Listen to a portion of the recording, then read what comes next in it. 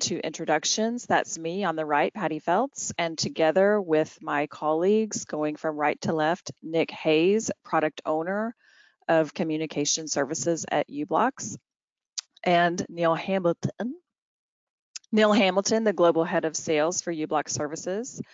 Uh, we will walk you through this agenda for the webinar. We'll go a little bit over uh, services in general, provide you an overview, and then dive into the characteristics of IoT use cases that are relevant today. We'll talk about choices that one can make in communication protocols, and these choices are relevant. Um, and, and then dive into three different customer perspectives, that of cargo tracking, pet tracking, and community safety. We'll wrap it up with conclusions, have time for questions and answers, and then uh, let you know uh, some interesting things coming up next from u-blox. So with that, let's talk about um, just an overview of u-blox and our services uh, product center. So we are offering the solutions that are essential for applications in IoT, that being wireless communication via a cellular network, via Bluetooth and Wi-Fi, the satellite-based positioning, uh, and the data services needed to establish the communication and to add functionality for location and security. We are a true one-stop shop for such solutions, and we're unique in our capability to provide these solutions from silicon to cloud.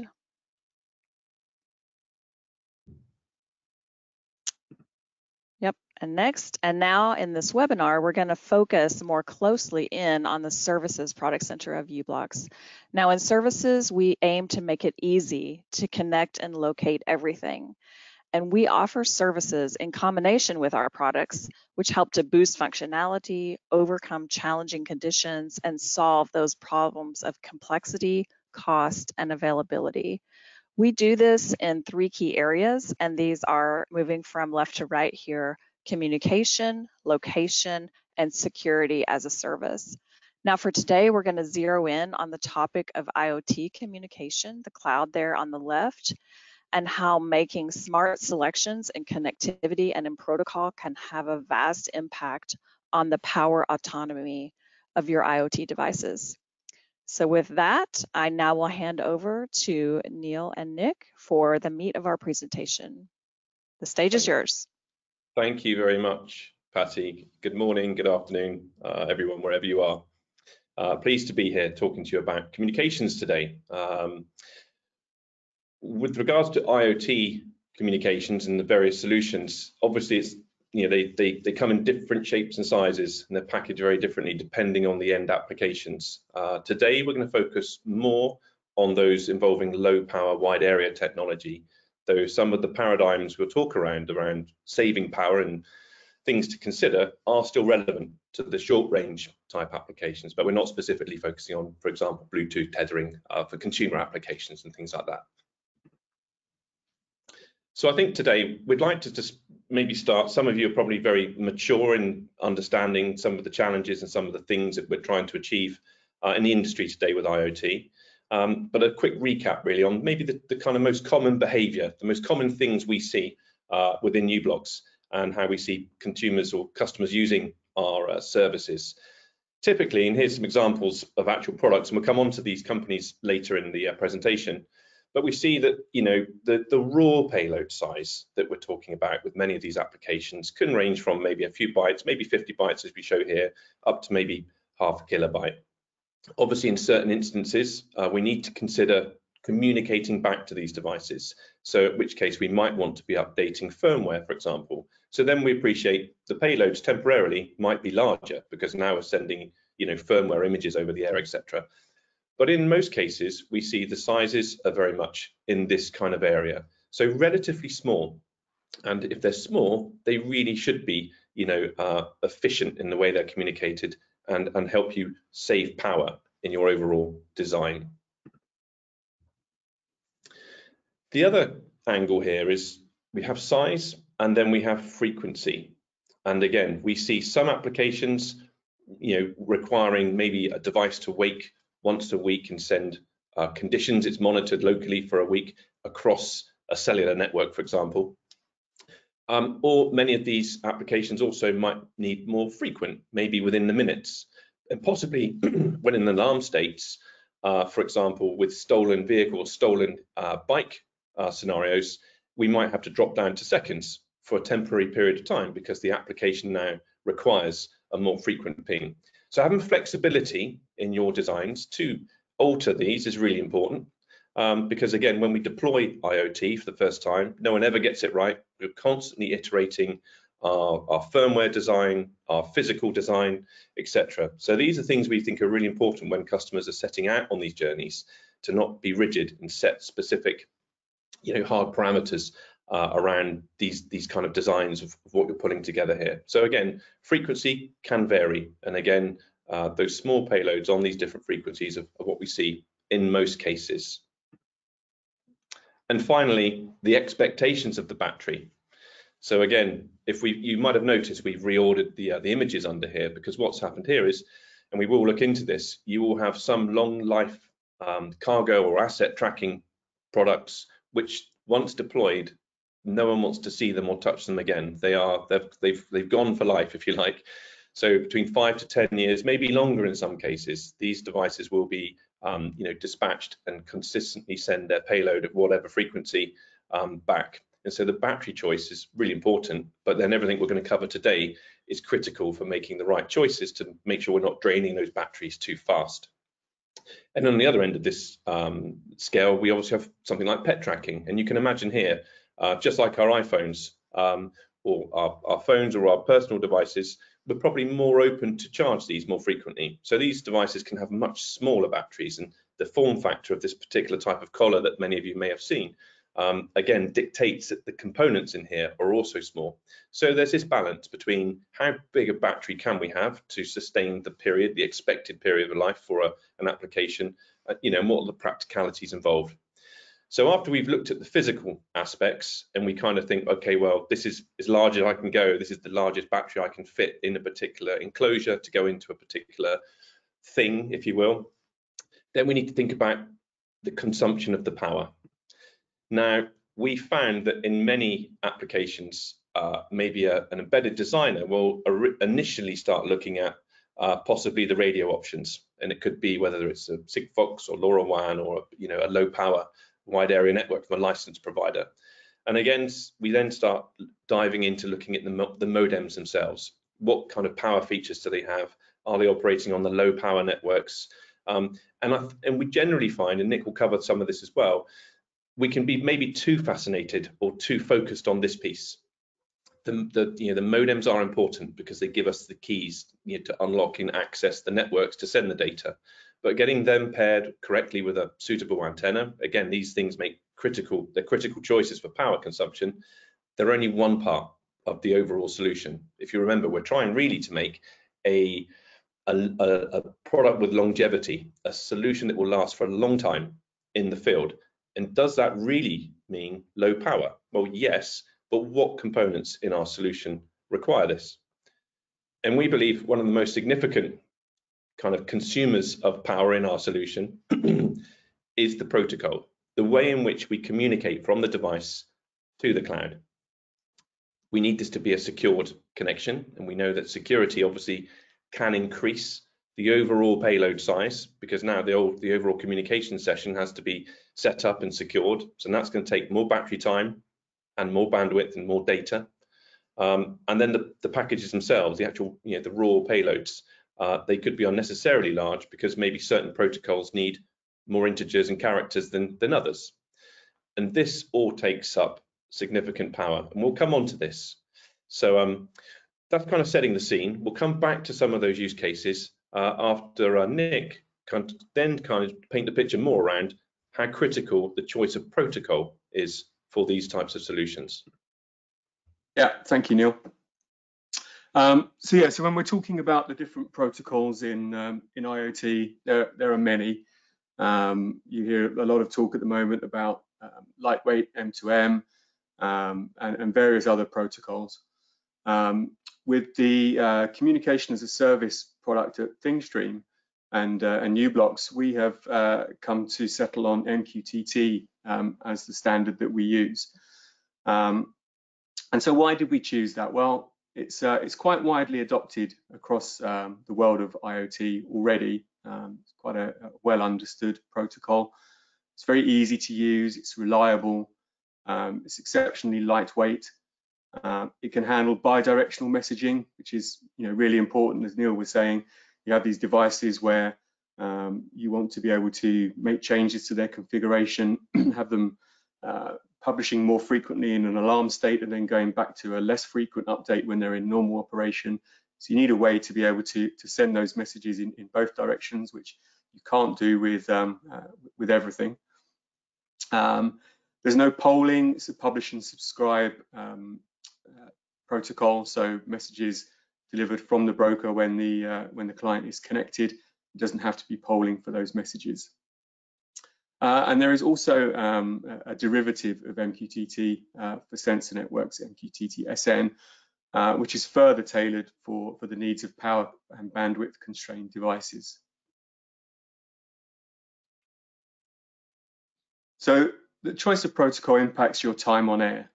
Um, we can see that with, um, I'll show you in a minute with some of the tests that we've done, um, but protocols like um, CoAP and TCP um, have a longer time on air than uh, than we find with with protocols like MQTT and especially MQTT SN.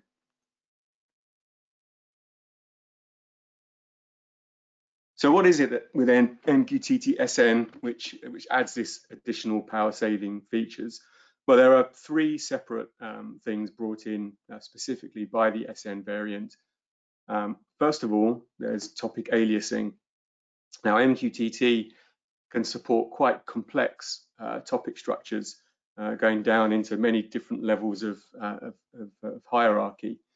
Um, and all of those topics require um, bytes over the air to, uh, to register and, and publish to, to the given topic name. MQTT-SN allows you to uh, predefine these topics on the broker um, and assign them uh, an integer alias. So when you're uh, publishing and referencing those topics from your device, you just refer to the integer and not the entire topic structure. Uh, and this can save you many bytes over the air. There's also a sleep mode. Um, so uh, the MQTT SN client can tell the broker that it's, uh, it's going away for a period of time. Uh, during that time, the broker will queue up any messages that have been published to topics which the device has subscribed to. And then the, when the device checks back in um, towards the end of its sleep period, uh, it can then tell the server it's there um, and request that any queued messages are delivered to it. And that will then be done uh, by the broker. And then in addition, there's an additional um, quality of service level that MQTT SN offers. So the, the regular MQTT protocol has uh, three quality of service levels, fire and forget, um, deliver at least once, and deliver exactly once. Uh, SN brings in an additional minus one level, which is a blind fire and forget. And this means that you can publish a message to the broker without first being in a connected state. Um, this is connected in the sense of MQTT. Um, so again, this saves you um, a number of messages over there. You don't have to connect and get acknowledgement back. Um, you can just send that message off into the air. And that's um, quite useful for devices which are, are publishing uh, maybe sensor data quite frequently. Um, you don't need an absolute guarantee that every single message you send is, is delivered. Um, you just know that um, you, know, you can send it and, and forget about it. So let's have a look then at some of the testing that we did, um, looking at um, the, the, the, power consumption and the time on air for, for uh, MQTT-SN and other protocols. Now this test was done on a, um, on a CAT M1 uh, low power network, sending 100 byte payload. And we tested um, with a number of things. There was uh, just a normal UDP transmission using the uh, u-blox end-to-end data protection, which is part of the security services, um, which is, is, covered on other webinars and on our website. There's also a, a TCP uh, transmission, again, using that end-to-end -end data protection. So this is where the, there's a security uh, component on um, the on the modem itself, available in our um, SARA um, R5 and R4 modules, um, which gives a secure root of trust ID um, to uh, to encrypt and decrypt the payloads that you're sending. Um, so it gives you a, a, lighter weight solution to um, to security. And in the middle here we have your traditional HTTPS uh, transmission um, using TLS. We then have a CoAP connection using a pre-shared key, and then we have MQTT SN using ThingStream MQTT Anywhere. Now with ThingStream MQTT Anywhere, um, the data that you send from the device can be sent in plain text um, and that's because we have a, a private, secure um, uh, APN. The traffic that's sent using ThingStream Anywhere is uh, is not sent over the internet at any point. Uh, it runs through a, a, a private UDP tunnel, um, and this enables you to uh, to reduce um, the, the amount of effort and heavy lifting that you need to do on the device to get that data uh, get that data out. And as you'll see on the graph here, the time on air to send that 100 byte payload using um, MQTT SN uh, with ThingStream um, is significantly less than uh, than all of the others, even the uh, the next best, um, which is the the UDP using um, u-blox's end-to-end data protection, is still um, sort of double um, the time on air. And that translates to how much power you're using. Obviously, the more time you're on air, the more time that battery is connected uh, and draining. Um, and so your power consumption is increased as well. And again, you see um, the MQTT SN being the lowest, um, followed by uh, the two data protection um, uh, options, and then looking at CoAP, um, uh, and, uh, and finally HTTPS, um, um, which is uh, massively higher as you see here.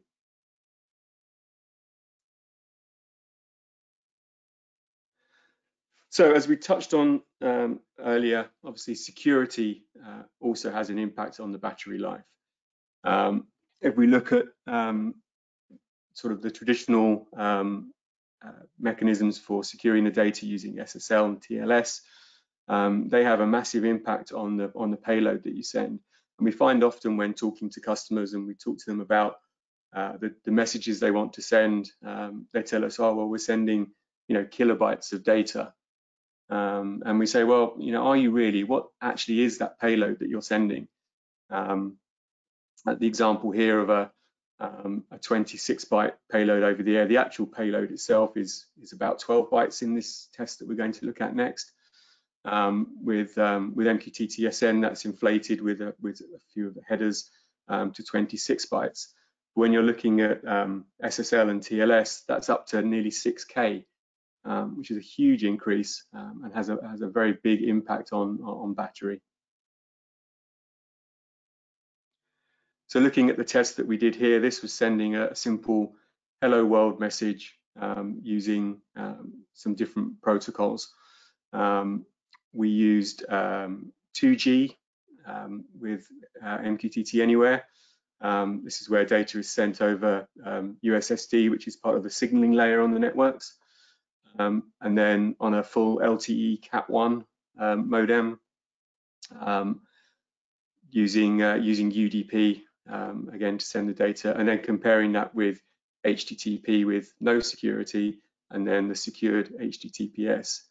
And you'll see that um, even with 2G, which customers um, think of as quite a power-hungry way of, of, of communicating on, on the cellular networks, um, the actual relative uh, current uh, used uh, for sending this hello world message um, is still actually quite low um, because you don't have to go through um, all of that additional effort of setting up the security and uh, getting your TCP IP stack up and running and, and all of those extra bits which all um, take time. Um, these are these are removed and your and your relative power consumption is therefore uh, reduced. but I think the most uh, best illustration of this is the graph on the right here, where we're looking at um, the actual bytes over the air. So uh, in the table here, we're sending a, a, just a 12 byte hello world message over the air. Um, on MQTT Anywhere with, uh, with the 2G variant, um, the actual uh, amount of data over the air was 26 bytes.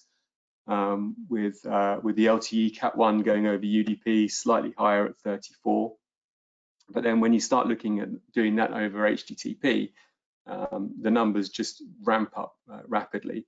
So um, just over a thousand bytes for uh, for a, non-secured uh, message um, on HTTP, um, and then five 5.6 um, k going over um, the the SSL layer. So that's a 473 times inflation factor for bringing that security in on uh, on HTTP transmissions. So now I'll pass you back over to Neil, who'll talk to you a bit more about how our customers have looked at this, uh, some of the different use cases that they have, um, brought to us and how they've solved those problems. Cheers, Nick. So yeah, absolutely. So coming back to some of those devices we saw in those opening slides, um, with kind of bearing what we just saw from Nick in mind, it's very interesting how some of these customers and many of our customers are now looking at you know the use of the different radio networks a little differently in terms of fitting something with their business case and their business needs today as well as allowing for what's coming in you know tomorrow in terms of the network evolution as well so first of all, we'll look at a common application, cargo tracking. It's an, you know a, a, a customer of ours called Versa Design, based in Spain. Uh, they provide different types of trackers uh, for either cargo or transport tracking, supply chain. But there's a common theme. They typically are devices that will go and live in the field, as I said earlier, between five to 10 years, uh, with different types of you know, ping frequency. Typically, it's a daily ping frequency, unless there's some alarm state as Nick pointed out, is often the case, and people need that flexibility uh, in their solutions. Again, the challenge is here, and often we end up talking around BOM costs, but it's not necessarily, again, the true reflection of a real operational cost of a, a solution. But you know, if you can get a, an asset tracker to live 10 years and it's less than or around 50 bucks, that's a pretty interesting uh, business proposition because there is that unlocks many use cases around the world to enable um, you know more improved visibility of supply chain. So that's the market I guess many of you are working in, we're working together and it's very common. The other thing is here, is here is these guys will be selling almost like a white label solution. So they'll be selling the, the hardware um, and then the connectivity. Some customers will be buying the, the communication piece directly. But the key is they need to know what those prices are because one of the things that challenge certainly supply chain is yes, in that scenario, um, you know, a licensed cellular network usage is probably the right thing to do. But with roaming fees and certainly with food logistics, well, we can have cargo containers leaving ports of Africa and heading to Europe where they could be moving if they were using data in a regular format from 15 to 20 dollars a meg uh, down to a few cents per meg in Europe. And that's not ideal when you're trying to predict what the actual cost of your business is. And given it's a dynamic business, things move and change, and we're not always going to the fixed positions. So that was some of the challenges that this particular uh, customer faced on behalf of their customers as well. Uh, and finally, as we said earlier, to change alarm states or to provide maybe configuration changes because different customers need different ping rates at different times, then having these devices manufactured sitting on shelves and then shipping them and then configuring them or customizing them when they're being deployed was really important rather than having you know um, almost like an NRE cost for setting up a custom firmware, uh, which isn't, again, it's prohibitive. And it also slows down uh, proof of concepts because we just go back to the drawing board almost and start rewriting firmware, what have you. So these were some of their, their challenges. Some additional challenges as well was very much around, well, the data itself. So yes, we can get a device in field. Um, predominantly, most of these were operating between Europe and Africa. Um, but each customer will often be using a different enterprise system to collect the data and actually build meaning and derive some value from the data. So having the device and you know having a SIM in there is only one part of that solution. And yes, okay, we've solved the the, the power consumption perspective as well, but we also need the data to arrive in a meaningful fashion. And again, we don't necessarily want a DevOps team or a, a third party you know team having to configure web servers and create the formatting for the data and prepare it for any of these kind of branded upstream systems that large customers are using. Um, so again, there was a number of secondary challenges once we solved the physical and the network piece uh, for this customer as well. And if we look at their options, well, as we said at the start, you naturally, if you go and Google low power, you'll find no end of global roaming SIMs that now roam on, you know, uh, or claim they roam on sort of NB networks. So NB IoT is very popular. Uh, and again, there's a lot of investment in NB IoT, and certainly in, the, in Europe with the carriers. So again, you're going to see that. Uh, in some territories, Sigfox is, is mature, in others it's not. Um, and LoRaWAN, these are the three kind of flavors of, of low power wide area network that we see. There are others, and no doubt there'll be other contenders over time, but these are the ones that we see the most. Customers scratching their heads wondering which of these is going to be appropriate for their use cases. And they, and again, it's easy to get hold of boards and test these things, and that can often lead to maybe too many choices. We're kind of blinded. We can't see what is the best decision. So we also always kind of zoom up and say, well, where is this device going to live? What's the purpose of it? How will the end customer value, you know, what is the, the customer proposition? How many customers can they serve? So if we start looking at some of these and these instances, well, for this particular customer, Sigfox wouldn't be necessarily correct. Uh, it would be good for other applications, but not specifically for this kind of, you know, this this fluid cargo tracking, asset tracking kind of requirement, which these devices could be going anywhere in the world almost. Uh, similarly for LoRaWAN, yes, you've got operators now running public LoRaWAN networks, and that's great. Uh, but again, the inter-roaming and the different standards across the world, you know, slightly vary. We might need different kind of combo modems for this uh, or radios. So again, it's not entirely clear. And what would the actual BOM of the final device be, and where could it actually work? So there's some question marks around these, which probably make them prohibitive for this use case. So in the world of low power, we're naturally drawn to, you know, NB-IoT and LTE-M, which is commonplace, and we see them accelerating in their deployment globally now, with over 190 countries using cellular, uh, and many of those countries now having, um, you know, made announcements they're going to move to either turning their 2G off and refarming some of this for some of this spectrum. Uh, they have test labs running in Europe. We see NB-IoT being fairly mature now across many territories. Uh, LTE-M is often now appearing alongside in some of these countries. Um, but you go to the US and it's LTE-M only. The NB networks haven't been adopted. So again, now if I'm making a, a, a cargo tracker or a tracking device that has to go anywhere, now I'm in kind of a bit of a problematic territory because is NB or is LTE-M the right option for me? And again, we've got some other things to consider here, not just coverage, which is currently very patchy, but it is gathering pace. We see more roaming agreements now being uh, agreed between carriers to allow for roaming of LTE-M. Um, and then when you get into the weeds of the modems themselves, obviously, including ourselves, there are features available on the modems for PSM and EDRX. Um, well, Nick, any sort of comments here? Because we, we're learning more about how networks are behaving with just these features alone to make more confusion. Yeah, absolutely.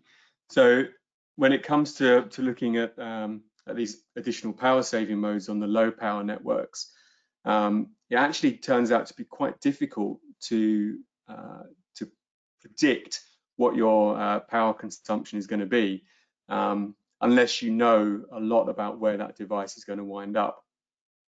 The networks themselves um, control whether or not these features are supported at all.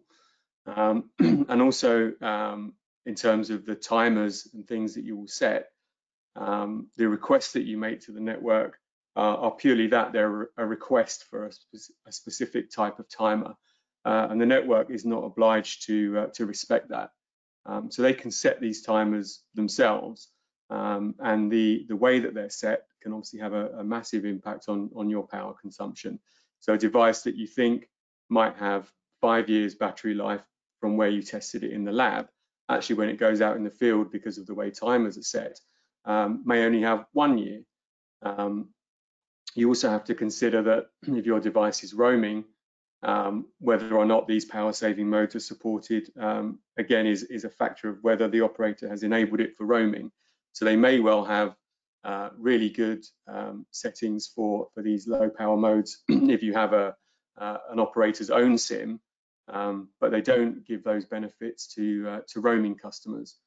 Um, so the reality of this is that really, unless you know exactly where your device is going to operate, um, and you're able to go out and test it, um, uh, you know, on that network in that area, um, it's very very difficult to um, uh, to get a good feel for uh, just how much benefit you'll gain from these uh, from these low power features.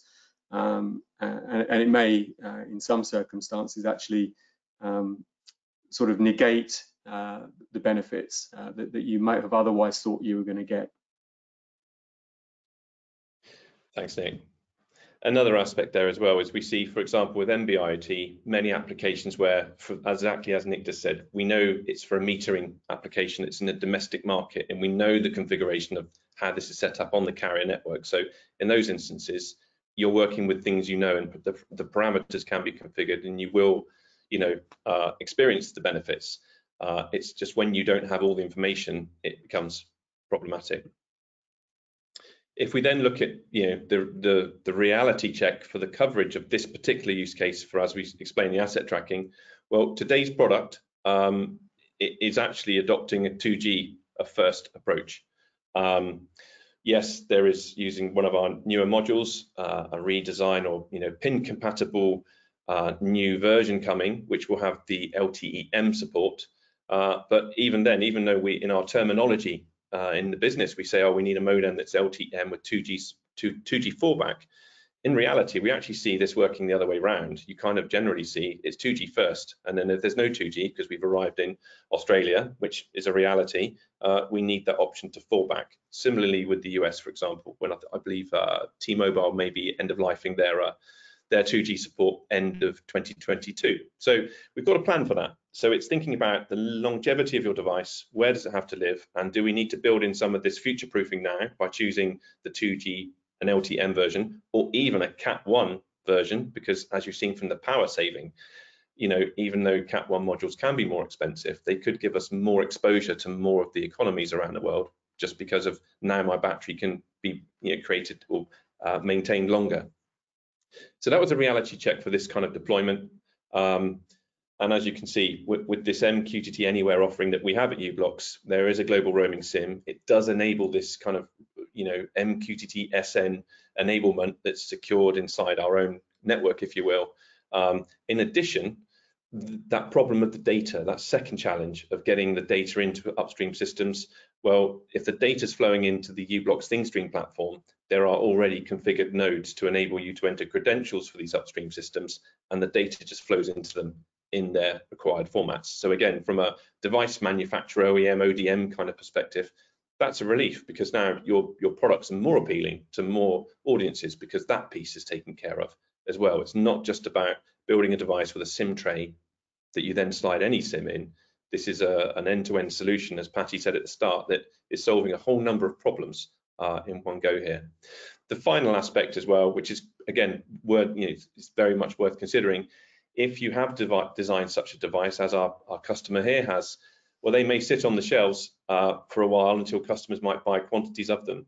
But purely the commercial uh, offering from u-blox ThingStream is also, it's a pay-as-you-go model. So if these devices aren't adding value to anybody, they shouldn't really be paying for them.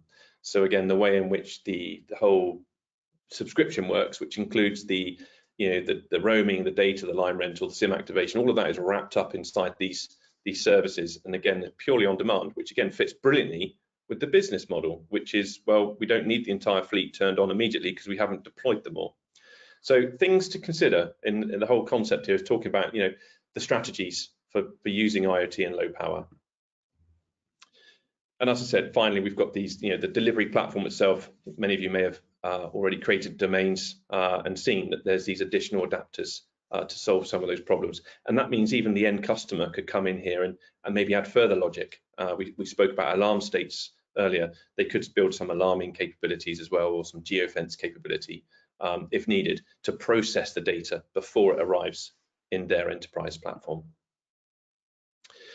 Similarly, then, if we take a look at you know, pet tracking, again, a, common and growing um, you know phenomena, specifically our customer uh, PawTrack, they focus on, as you can see, on tracking cats, which uh, you know there is a different behaviour uh, needed in the device for the way cats will will roam, if you will, the way they, they they wander around, and there's various different attributes that make them very different to tracking maybe a, a, a dog that's run off, if you will. Again, the challenge here is, and this is very common uh, around the consumable kind of consumer market, where ideally you want to make as, as least number of SKUs as possible. Ideally, one SKU that will just work anywhere in the world. Uh, so again, one of the challenges here is size. We've got the form factor is clear. It's very limited in our space on a PCB. So our choice of radio, again, we do need a cellular modem or a modem in here. Um, so again, that needs to be considered. Um, and these need to be relatively power efficient. Yes, the, the cats come home, we can char charge those collars or have a second collar on charge. Um, so the frequency is far, far greater than the trackers we dispatch for forever. Um, but the whole solution here from the customer perspective was they just need it to be easy. This is what they do. They provide you know, value added service for cat owners. They're not necessarily really an IT company that wants to build all of the IT side and the cloud piece just to get the data. So again, that was the challenge. Similarly, looking at our options, again, in this particular use case, Sigfox wasn't necessarily the right option. LoRaWAN, again, in some countries arguably could, but it wasn't the choice because we need a generic solution, ideally.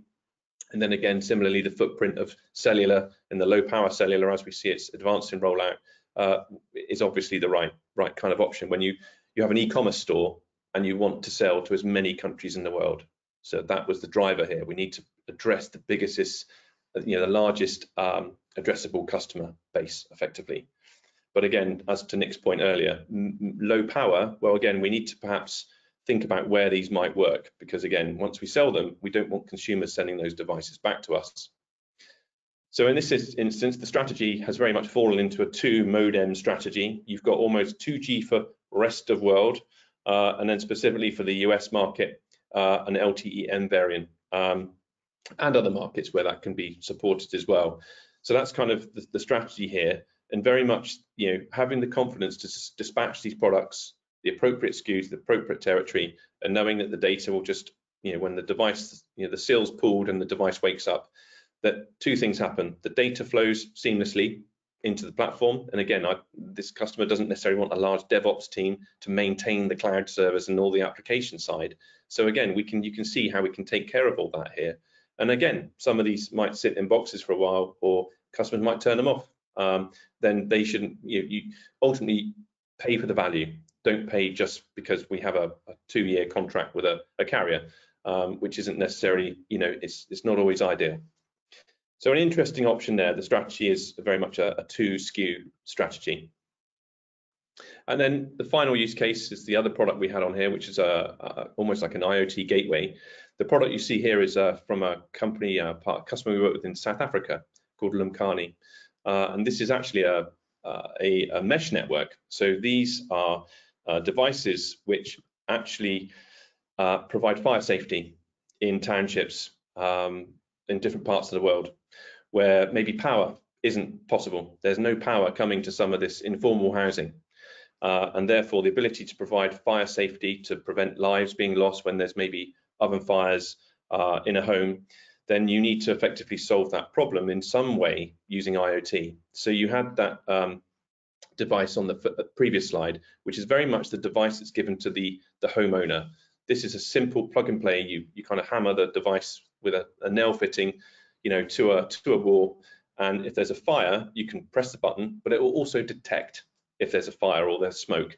And it will mesh. It will talk to all of the other, uh, you know, nodes that are around the township. And so it creates a, sent an automatic response for the local community to, to you know, get on top of the problem with the fire. But in addition, these talk to a gateway. And so Lumkani need to know the behavior of the township, the products, how they're running, how they're operating, have there been any false alerts, real alerts, many different use cases. But again, there's no power for the gateway to operate. So when we're now dealing with countries such as Bangladesh or Sri Lanka, um, we need we need to be able to uh, you know provide a, a, solution that that will work and guarantee getting this data into the cloud. Really important for them. And it has to be out of the box as well because they're dispatched and they have to just go to maybe a community leader who will train people on how to use them. So interesting, the project started, I believe, in South Africa and it spread beyond. Uh, but initially, Sigfox has got a strong network in South Africa. There is good coverage there. Um, and for different types of applications. And this this is kind of a you know one of those types of applications. But because we were looking at other territories or the customers looking at other territories as well, it didn't quite fit. It would be ideal to have a single solution really. Um, LoRaWAN, no public available networks as yet in these territories. Uh, and again, NB and LTE, this low power, not available and not and probably won't be for many, many years, uh, just because the geographical places where some of these requirements are. So it's quite an extreme kind of view of IoT. And it's not an edge case, it's very common. There's lots of IoT being deployed in these territories, uh, but it just gives you another example of, well, hang on, what is my options? I need low power. I need, I need something, a gateway that's going to last for a long time. So again, the, the, the 2G and LTE are really the only two licensed networks, let alone low power, that will provide the footprint for this customer and their customers. Uh, so again, by applying what Nick explained earlier and looking at the tests to see that actually you can derive a low power solution from these networks, that's pretty exciting. And that enabled the customer to bring this to market. So again, you have a, you can see the image here. It's a, it's a, uh, an IoT hub that talks to hundreds of these gateways and will periodically upload a larger payload, you know, nearer that half a kilobyte on an infrequent basis. Um, but again, it's it's powered. The strategy here is also to provide solar to keep this topped up, so you can trickle charge from a solar cell. Uh, but everything is about preserving the power, and you can see again how how this fits brilliantly with the use cases um, that we've presented here. So it's a slightly different view. We're trying to show you today that there's more than just the radio piece itself. There is a much broader set of things that will be consuming the power in these uh, in these uh, use cases. So I guess some of the conclusions, and we can look at some of the questions in a moment. As I say, it's the connectivity is only one part, as Nick pointed out. If we're using maybe certain protocols, regardless of how low power our modem is, is purported to be, the protocol will still keep that you know, device communicating over the the uh, the radio network into the internet for far longer than it should. So protocol is really important. Um, and, and as we can see, when we scale these solutions, we need predictable pricing. We need to know what the actual costs will be. Uh, and we think this is really important when we start looking at the total cost of ownership with our customers. We just, we kind of uh, look up beyond just the BOM, the actual de device design, and look at the overall requirement and try to help build an overall smarter strategy in how they adopt IoT. So, Patty, I've not been paying any attention to um, the questions. Um, or Nick, I don't know. Should we take a look at some of those? Yes, actually, Nick's been paying attention, and there's one or two questions from an attentive uh, registrant. Uh, so, Nick, would you like to share uh, about the question and answer? Yeah, let me just see if I can get a good view on this.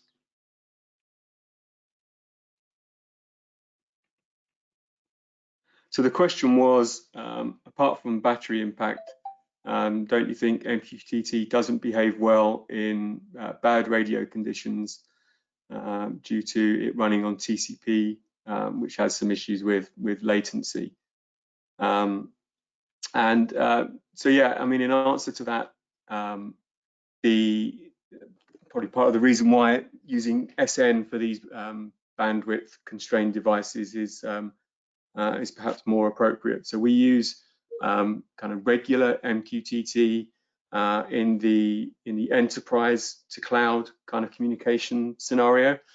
Um, so where you have your your backend systems talking to the broker, which then in turn talks on to the uh, the devices out in the field. Um, so you, you then have a typically you know a good strong um, internet connection, um, and and you're not not dealing with um, uh, you know, radio signal issues. Uh, when you come to MQTT-SN, which is what we, we use for devices out on the field, um, again, with this being particularly tuned um, to, to deal with that scenario, um, using those additional um, sort of low power, low bandwidth features like the topic aliasing uh, and the, uh, the fire and forget method, um, and our secure private UDP network, um, then all of those factors together reduce the number of bytes over the air, which reduces the amount of time uh, on air, um, and also the uh, the amount of protocol chatter is reduced if you're using that quality of service minus one that we spoke about earlier. Um, so all of those factors um, help to uh, improve reliability of that messaging. So, and we see in cases where you know the uh, signal strength is is relatively low, um, and you may struggle to uh, to do comms um, with with some of the other protocols. Um, we are able to get successful messages backwards and forwards using MQTT SN, and that's why we've, we've chosen that SN variant for uh, for those types of devices. Thanks, Nick. Another great question uh, regarding batteries. You know, what type of battery do you use in these situations? I mean, we see a, a real spread depending on the use case, uh, even a growth in custom custom made designs in terms of their sizes. Uh, but Nick, what chemistry would you say? I mean, we don't particularly get super close to that necessarily, but what what do you think we've seen the most? Um, so a combination of things, obviously on the rechargeable devices that we've seen, um, then uh, those simple lithium ion batteries um, that, that, have, that, have, been used. Um, we did some tests um, a couple of years back with a, um, a tracker device um, running on a, on a 2G modem, which had a simple 800 milliamp hour lithium ion battery in it. and that was able to do something like eight, 900 um, transmissions of data. So this is wake up, um, get a GPS lock, um, send that data over the air and go back to sleep. Um, and it was able to do that um, eight, 900 times um, from, a, from a single charge of that battery. Um, so that was, that was quite an interesting one. And then on the, I'm trying to think what the actual battery technology used in that VTRAC device was. Um, I don't recall now, to be honest. Um, but that was able, again, that's running on kind of a D cell sized battery. Um, and, uh, and the manufacturers of that device um, warranty the battery life for, for 10 years. Um, so relatively small batteries um, capable of, of, providing that uh, that longevity, and that again is on a uh, on a 2G um, modem, and they're seeing similar life expectancy with the uh, with the new um, combined 2G and LTE-M variant that they're working on. Thanks, Nick. Okay, good. I think that's all our questions. Uh, oh no, we have more. They're popping up. So let's have a look. Uh, do you have a dev kit to test these functionalities? Um, yes, we do, or we very shortly will have. We're actually currently working with a number of, um, of partners who produce uh, produce boards. Um, so one particular one with SODAQ, um, who have a couple of um, Arduino boards. Um, we're working now on on some example projects, so a, a tracker example and a, and a, regular kind of Hello World example. Um, so the customers will be able to buy these boards with the the SDK and the and the example applications pre-installed. Um, so they just have to insert a SIM and um, and then they're good to go. Um, we have SDKs available for download um, via the ThingStream portal for um, a multitude of, uh, of MCUs. Um, so STM32, Arduino, uh, and, and the ARM uh, Cortex uh, modems are all supported. Um, and the SDK bundles again have example projects in them, so you can get up and running quite quickly and, and test these things out. Um, so where they're while you're sort of waiting for um, official uh, uh, boards to become available, um, you can pick up, you know, pretty much any developer board um, from uh, from these distributors um, and and and sort of ThingStream enable it um, to, to, get that um, those prototypes working.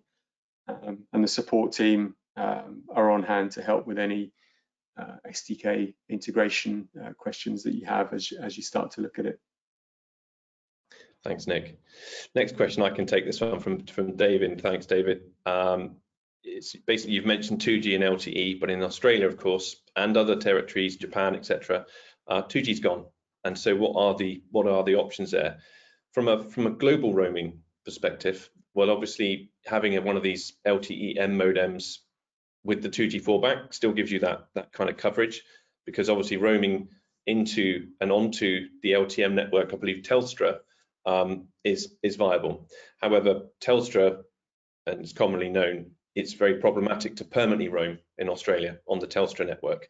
So if it was a domestic application where you know the device will just live and they have a fantastic, if I remember correctly, great um, geographic coverage compared to other carriers as well for remote areas, then um, you know that's going to be your best option. It's it's harnessing you know the, the, the best protocols and battery mix along with one of their local sims. Because again as i think our nick i don't know our period of time of roaming whether it's 90 days or 120 days um, but most roaming sims will will expire after a period of time in territory. So it's a good it's a good question. Some countries we find australia turkey brazil those kind of problematic geographies where the roaming becomes a challenge and you need to think about uh, maybe that second SKU option uh, if you uh, if you're selling something that's going to permanently live in those territories. Uh, what else do we have here? What is the best module you offer for GPS and LTE-M? What's the range? Um, we are really from the, the services division of u-blox, but I would say what we have seen uh, in adoption is very much, as Nick mentioned, the uh, the R412 is the current version, but the R422 um, is becoming popular with the M8, so it has a, uh, a GNSS receiver uh, baked into it as well. And then again, for, uh, for pure LTE-M, we have an R5 M8 as well. Uh, the pricing, I don't know, uh, but we can route you to someone who will know that uh, in your territory. So we'll take that question and come back to you on just introducing you to the right person to give you some information on that. Um, we have two more questions. What other components contribute to low power solution other than just the connectivity? Uh, well, Nick, with the sensors themselves and the application code is quite important, isn't it? Making sure you've got, you know, very neat, tidy application code that isn't necessarily doing things it shouldn't be. Yeah, indeed. So you do need to take care when writing that application code um, in terms of, you know, what you're doing, uh, how long you're keeping the, the processor awake for, um, making sure that the, as Neil said, the code is kind of tidy and efficient itself, but it's not just sort of running around keeping everything powered up longer than it needs to. Um, you need to consider quite carefully um, retry strategies. So there will be cases where you know a device will wake up and, and you know maybe there isn't any um, network coverage in that particular place at that particular time, um, and so you need to think about how many times do you retry um, you know, how long do you, you spend um, in doing that? Do you just decide, okay, I'm going to wake up again in an hour anyway, so the fact that this message can't get through doesn't really matter, so I can just shut down? Or is it really critical that I keep trying and, and push on? And again, looking at the kind of the mode that your application is running in, is it running in alarm mode where it needs to um, really try very hard to do things? Um, also with tracking applications, um, you know, considering things like your uh, your timeouts for uh, for getting um, uh, positioning lock. You know, how long am I going to keep this um, GPS receiver powered up, scanning for satellites when maybe the um, device is in an underground car park and it's never going to get it. Um, so there's no point sitting there for 10 minutes trying to get a lock when it's never going to happen. Um, so a lot of things uh, around there. And again, there are some other u-blox services um, coming to market now. Um, for example, the Cloud Locate service, which we launched a couple of weeks back, um, which help with, with that kind of thing. So devices that don't need to know their location themselves, um, they just need to tell the cloud where they are. Um, and so we have some uh, some solutions there for taking uh, just raw GNSS measurements from the receiver um, and sending those to the cloud where uh, we have a service that can then calculate the, the position um, using the, the, raw readings. And, and, in a lot of cases, um, you know, you can have a receiver that's just on air for a few seconds, um, and that will give you enough data to um, have a location which is accurate to, you know, around 10 meters. Um, so there are uh, some other um, services on the way that will, will further help to um, to reduce power consumption on the device. It's not, um, as we say, it's not all just about the radio technology and the protocol. There's a whole load of other things on the application and the use case that you need to think about. Thanks, Nick. I'm conscious of time. Let's just take maybe uh, one more question and then um, any that aren't answered, we will come back to you. Some of them might actually need someone else to respond to them um, anyway, so we'll, we'll circle back round. Last one here is, um, is MQTT compatible with any cloud provider as it is, uh, as it is, or do you need additional conversion? Uh, well, Nick, you could take that one, but it is an open standard, so absolutely. Yeah, absolutely. Uh, there are a number of, uh, of services which offer um, uh, MQTT connectivity. So um, AWS has it, um, Google Cloud does, um, uh, IBM Watson and Azure all have um, MQTT endpoints that, that you can connect to. Um, you need to consider the kind of levels of support that they have. So some of those don't allow uh, you to connect to uh, other brokers from uh, from their side. So for, for downstream messages, it can uh, it can get tricky. Um, but certainly MQTT is a is an open standard, widely adopted, available on a number of platforms. Um, and for those platforms that don't have MQTT, um, then the uh, the u-blox ThingStream uh, data workflow tool has other connectors, so you can publish MQTT um, into ThingStream um, and then uh, through one of the, uh, the data flows, uh, then turn that into an HTTP post um, to go out to the backend system that way. And similarly, then data coming uh, coming back the other way from the enterprise uh, can be published using HTTP. Um, we have a REST API which allows uh, MQTT messages to be published um, using an HTTP post. Um, so you can then um, send messages back to your devices out of the field that way as well. So a whole load of uh, different options available um, in the case that MQTT isn't available on your backend system. Brilliant, thanks Nick. Okay, great. As I said, we'll follow up with some other. I see some other questions come in, so we, we will come back to you on those. Uh, we're, we're getting short on time, so um, Patty, back to you. All right, thank you very much, guys. And uh, thanks for attending our webinar. We'd like to leave you with a couple of things uh, next up to consider. Um, uh, watch your email because we'd like to provide you with the opportunity to try our MQTT Anywhere SIM card to unlock that power of MQTT protocol. Um, we have a little uh, SIM card test trial. Um, there's a, a, get started guide wallet that encapsulates it. So if you're interested in that, give a click and we can get you that trial offer. Also coming up on May 11th, Nick mentioned this um, location in the cloud. We are having a webinar on May 11th about that service. So devices don't necessarily need to know their location. They can send measurements up into the cloud and all this is calculus is done in the cloud and the location is provided and that gives vast power savings over traditional uh, GNSS power saving techniques. So if you're interested, we'd like to invite you to that webinar. All right, well, we thank you again. The, the hour is concluding. Thanks for your attention and thank you for joining. Have a good day.